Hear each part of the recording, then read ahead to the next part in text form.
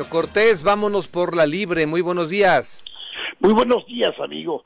Buenos días, auditorio. Pues allá en 1862, antes de empezar la batalla, el del 5 de mayo, después de que el 4 Lorenzés, el conde de Lorenzés, había declarado que ya tenía total dominio de México. Tal está la superioridad que tenemos total dominio de México.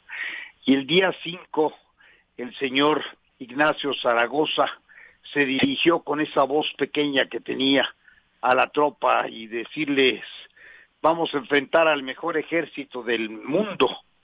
Obviamente, pues esto, pues ¿cómo al mejor ejército del mundo si apenas estamos preparados nosotros? Y sí, pero ustedes son los mejores hijos de México. Y eso repetido porque era una fila muy larga, empezó a hacerse una especie de rumor de mar, de marea, de ola, de tsunami, e impregnó en todos los mexicanos esta lucha para terminar con la victoria, en gran medida porque la estrategia fue extraordinaria y en cambio la de los franceses fatal porque era de manera frontal pensando que era cuestión nada más de avanzar y tomar la plaza sin mayores problemas. Al final, los mejores hijos de México salieron con la victoria aunque en el 63 después vino otra situación distinta y terminaron por apoderarse del territorio nacional, pero como siempre, no por mucho tiempo y terminó por triunfar el señor Benito Juárez, la República y las cosas siguieron adelante. Es el momento de hacer una reflexión sobre ello en donde ojalá y la política o en la política estuvieran también los mejores hijos de México, los verdaderamente responsables de la situación que se está viviendo y la manera de poder resolver los problemas. Que se hiciera pensando en la patria, pensando en el Estado, pensando en el municipio, en la colonia, pensando en que cada una de las decisiones que ellos tomen van a repercutir en el presente, pero sobre todo en el futuro, que cualquier decisión, cualquier peso que se tome que no es propio, sería negativo para la población.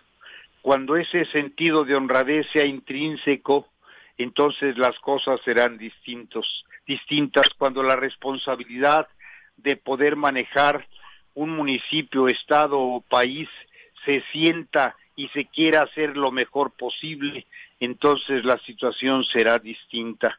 Necesitamos por fin que los mejores hijos de México tomen el mando de cada uno de los poderes en todos los sentidos, hacia arriba y hacia abajo, que el servidor público más humilde y el más encumbrado entiendan que están ahí para servir a la patria, con la intención de hacer las mejores cosas, con agilidad, con prontitud y no estar buscando los pretextos para no hacer las situaciones que se les tienen enfrente, no estar buscando la manera de cómo protegerse con sindicatos para no hacer las cosas como tienen que hacerse, apegarse a ellos, recargarse en ellos y entonces seguir con su vida tranquila, vida de golfería que no sirve absolutamente de nada para el país y que desgraciadamente todavía en todas las dependencias sigue funcionando. La ley del menor esfuerzo, la ley de pues total, todo mundo lo hace, aquello de que pues, por qué si Juan lo hace, por qué yo no. En fin, al fin hay impunidad.